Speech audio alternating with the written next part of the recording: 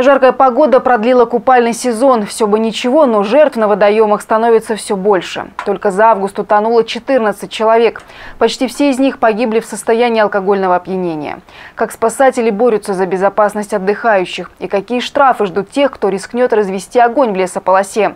Об этом, а также о готовности противопожарных систем курских школ к новому учебному году говорили на заседании комиссии по предупреждению ликвидации чрезвычайных ситуаций.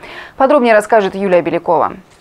Спасатели уже в 11 утра на водоемах города. Более 300 оперативных групп патрулируют и несанкционированные, и оборудованные пляжи. Задача еще раз напомнить курянам правила безопасности на воде.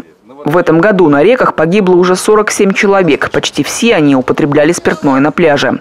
Не дают спуска спасатели и любителям отдохнуть в лесу. С учетом введенного противопожарного режима в лесополосу нельзя даже заходить, не говоря уже о разведении костров. Штрафные санкции вот на граждан они увеличиваются э, кратно и составляют от 2 до 4 тысяч рублей, на должностных лиц от 15 до 30 тысяч рублей и на юридических лиц от 400 до 500 тысяч рублей за несоблюдение требований пожарной безопасности в этот период. До сих пор в регионе работают 11 лагерей. Это почти 2000 детей. Там пожарную безопасность, помимо спасателей, обеспечивают еще и добровольческие бригады.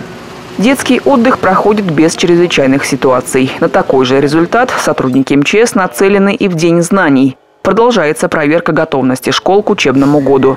90% уже принято. На что мы всегда обращали и сегодня обращаем внимание, безусловно, это на исправное состояние системы обнаружения, это автоматическая пожарная сигнализация, это наличие системы оповещения и эвакуации, это наличие первичных средств пожаротушения. Серьезных нарушений нет. Мелкие недочеты должны быть устранены к 17 августа. Это последний день приемки школ.